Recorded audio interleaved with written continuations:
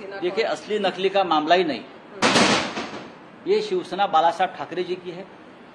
अब ये नकली वाले जो है, हमसे टूटे हुए, फूटे हुए लोग, वो ये भी कह सकते हैं कि बाला साहब ठाकरे जी को हमने ही पार्टी में लाया था।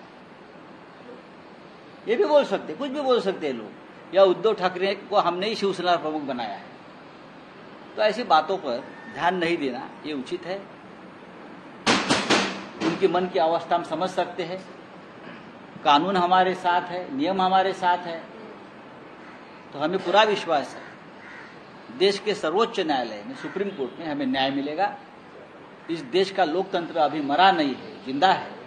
ये हमारे मुख्य न्यायाधीश देश को दिखा देंगे। राउत सर, साहब संजीव पांडे को अरेस्ट किया गया ईडी देखिए मैं हमेशा देखिए मैं हमेशा केंद्रीय जाँच एजेंसी की जो कार्रवाई होती है ज़रूर हम उसके ऊपर बात करते हैं। लेकिन अब ये मामला न्यायालय में है मैं उसके ऊपर बात नहीं करूँगा। सर राहुल शिवालय ने जो दावा किया है कि उद्धव ठाकरे जो है वो भाजपा से गठबंधन करने के लिए इच्छुक थे देखिए कौन क्या दावा करता है उसके ऊपर अब नहीं जाना चाहिए। 2014 में अलायंस हमने नहीं तोड़ा है बीजेपी के साथ। उसके ऊपर ये लोग बात नहीं करते 2014 में बीजेपी ने अलायंस तोड़ा है शिवसेना के साथ। 2019 ने 19 में भी हमने नहीं तोड़ा है। भारतीय जनता पार्टी की वो चाल थी कि हमें दूर करे।